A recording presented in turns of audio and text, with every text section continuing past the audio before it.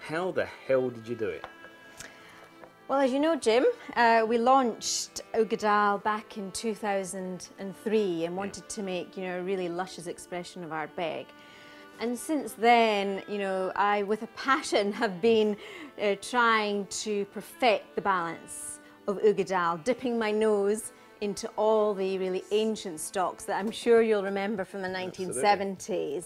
They were really deep and peaty, peatiness and smokiness and lots of really uh, deep, deep fruitiness as well. There was a richness, Richness to it, absolutely. Really rich aromas. Um, and also weaving all these ancient stocks in with some of the, the stocks that we've distilled um, in, the, in the 90s um, since uh, Glenmorangie acquired Ardbeg distillery in 97 and some of these stocks are of our highest peating levels. But, but what blew me away with this was the fact that this was really the first Ardbeg that I tasted that reminded me of the Ardbegs mm. of the early 80s when all the peating was done at the distillery. It was, it was a different kind of Ardbeg then. Mm. And here you've got the intensity and you've got that saltiness as well, mm. which brings everything else out. And that was what that made me kind of sit up and go, wow, you know, th this this is this is different. Mm -hmm. Yeah, I mean, this is really uh, ex finest example of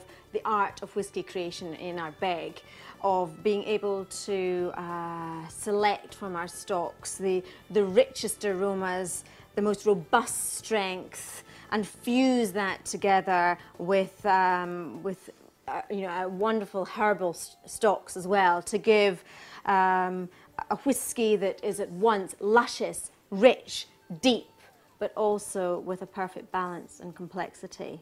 When you put this one together, because as we all know, all bottlings are slightly different from others. When you put this one together, did like me, you, you, you think, wow, this is different? Or was it like, mm, yeah, we've gone on another step, you know, did you realise that this really was special? Absolutely. Right. I think, like yourself, you know, it was very much a eureka moment in 2007. Yeah. And, you know, we had this pursuit to uh, to try and achieve this perfect balance in the glass of Uigeadail.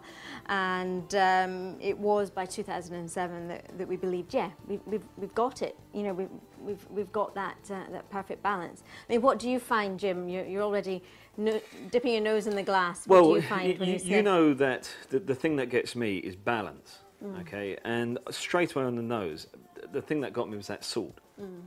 And that was something, I wouldn't say had been lost, but it was something that yet had to be attained, if you like, from the, from the newer stocks. And it, and it took me right back. So that was the first thing that got me. Then you get the sherry as well but it's clean sherry. There's no sulfur or anything like that. It's absolutely top grade stuff. Again, very old fashioned style.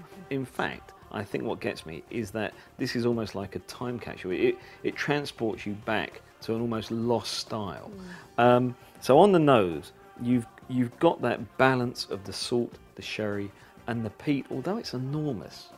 It is so beautifully integrated, mm. and, and, uh, and you can't beat that. So that's on the nose. Mm. And to taste, -hmm.